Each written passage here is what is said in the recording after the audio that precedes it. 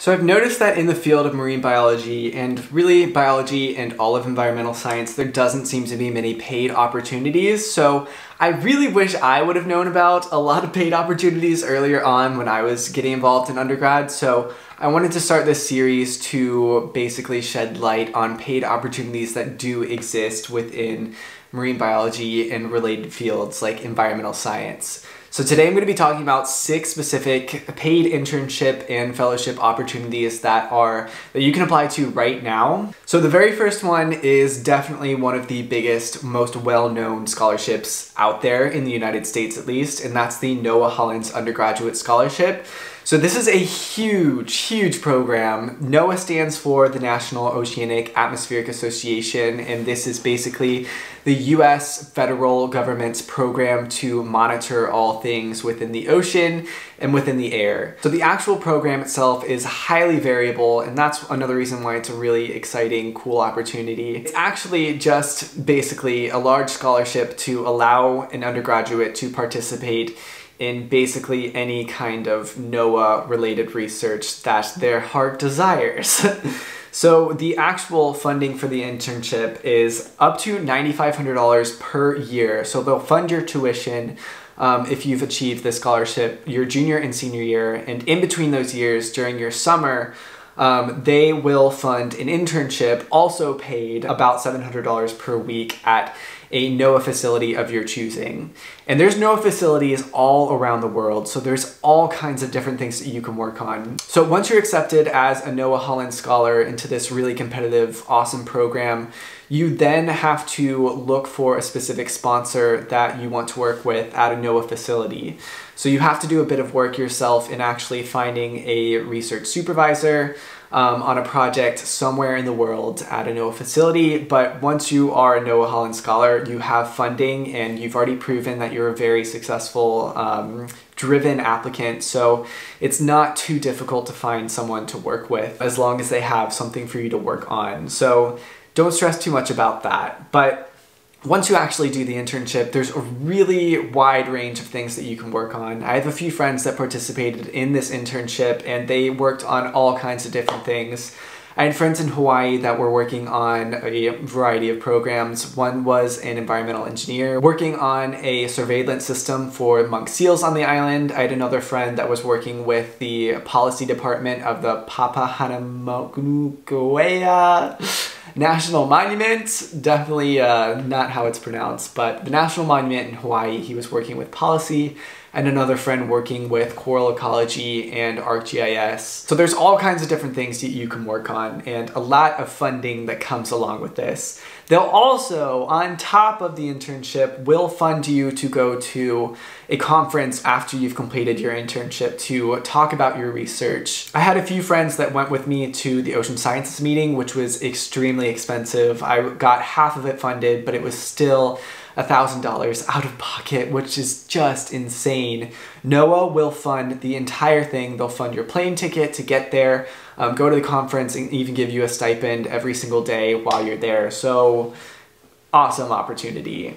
Um, COVID has definitely made this um, a little bit interesting for the future. Right now, they're doing some sort of hybrid um, virtual and in-person experience. So definitely look further into this program and ask the actual um, program advisors about um, what's happening this next summer and moving forward. But um, otherwise, really great opportunity. So the second internship I wanted to mention is even better, in my opinion. And this is another NOAA internship, and this one is specifically for minority serving institutions. So really incredible by NOAA in establishing this scholarship. It's basically the NOAA Hollings Scholarship, but even better and only for um, people of underrepresented backgrounds. So this is the NOAA Educational Partnership Program with Minority Serving Institutions undergraduate scholarship program. So kind of a mouthful. They abbreviate it EPP MSI, under, undergraduate scholarship program. And the reason I say it's even better than the NOAA Hollings scholarship is for one, because it's only for minority serving institutions. So according to the US Department of State, a minority serving institution is a Hispanic serving institution, historically black college, and universities, um, tribal colleges and universities, Alaskan Native serving institutions, and Native Hawaiian serving institutions. So only those institutions or people from those institutions are eligible to apply. And because of that, there is a much smaller applicant pool. So it is much easier for people to achieve this award. Um, and the award itself is so awesome. So it provides funds for two years of undergraduate study to, again, rising juniors uh, majoring in any of the STEM related fields. And this is up to $45,000 in total support. This is just crazy. and that includes travel and conference participation. So like the NOAA Hollings Scholarship, they will pay for your travel and pay for a conference for you. There's actually two internships associated with this scholarship. The first is the summer after your junior year. So this is an 11 week paid summer internship at a training facility in Silver Springs, Maryland at a NOAA facility. And during the second summer, you have, just like the NOAA Hollings Scholarship, an internship of your choice at a NOAA facility anywhere in the world. So again, this is like the NOAA Hollings Scholarship where you have to find a supervisor to work with, but again, you'll have the funding behind you, so it won't be too difficult to actually find one. So at the end of both internships, this is really cool, but they'll have you present the results of your research to an education and science symposium in Silver Spring, Maryland. So a really cool opportunity to get some experience presenting your research and also networking with a really cool small niche of people that are a lot like you and driven, also successful people. So unfortunately for this internship specifically, like the NOAA Hollings Scholarship, you have to be a US citizen and you must be a rising junior. So make sure that you are aware of this ahead of time and properly plan this to apply as a rising junior. Um, the deadline for this is also February 1st, 2021. So the next internship I wanted to mention is another really great one in Monterey Bay. And this is an REU. So if you don't know what an REU is, it's a research experience for undergraduates. And this is a program funded by the National Science Foundation. So there's REUs all over the country and very diverse types of REUs. Um, definitely look into this further, but they're typically 10 week paid internships at a specific partnered research institution. So this one is in Monterey Bay, and the reason I wanted to mention this one is because it's currently accepting applicants and it's also really unique in that it's a collective of six different research institutions that are all focused on marine related studies. So the research institutions that are involved in this collective program are some pretty stellar research universities and institutions. So really great opportunity to kind of get your foot in the door and start networking with some really incredible researchers.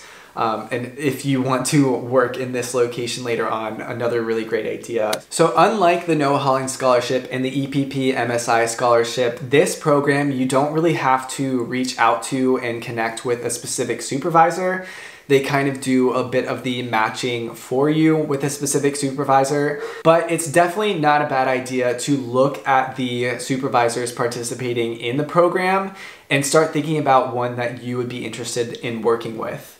So once you're actually applying to this uh, program, it's going to make your application much stronger if you have a really clear idea of what exactly you would want to work on, or even a specific person would be really powerful to show that you have a lot of intention to applying to this specific program. It's definitely for programs like this really important to recognize that you are applying to this program for a very specific reason and that it's really going to benefit you specifically and your specific interests later on. So it's going to do you a lot of good to do your research on the participating mentors and supervisors. So the deadline for this program is also February 1st, 2020. So the next internship I wanted to mention is at the Mote Marine Lab and Aquarium located in Sarasota, Florida. And this is a really incredible research institution. It is not associated with a university. As far as I understand, it's not directly associated with a university. So Mote is an independent nonprofit marine research institution and there's 30 PhD scientists and over 200 employees at this institution. So there's a wide variety of different programs and things to get involved with at this specific marine lab and there's a lot of really high caliber research that occurs here. So as far as the actual program itself, it offers a $5,500 stipend over a 10 week period, so a lot like other REUs. You get free housing in a local dormitory, which is awesome, and you also get financial support for actually getting to the research institution from your home institution, which is also incredible. So it mentions that there's paid research training experience for up to 10 undergraduate students, which is really cool because this is a larger REU program. Normally REUs are a bit smaller than that or they're even only one to two undergraduates accepted. So a bit more variety and you get sort of a cohort of people to interact with which is beneficial for lots of reasons. It also mentions that you'll get the opportunity to present your research in a manuscript style paper plus a laboratory wide symposium.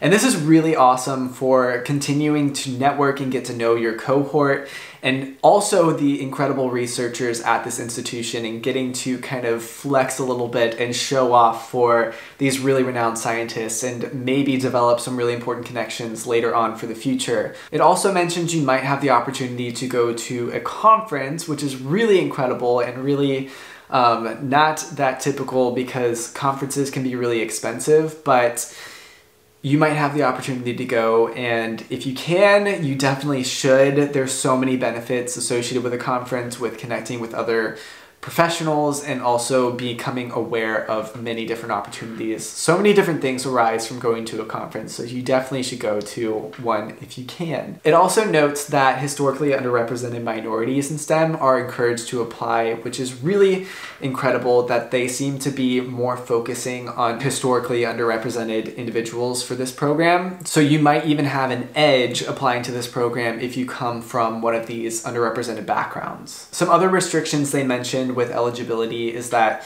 you have to be an undergraduate and you also have to be a first time REU participant. So you can't have already done an NSF REU the summer before. So the next paid internship I wanted to mention is located at the Smithsonian Tropical Research Institute located in Panama.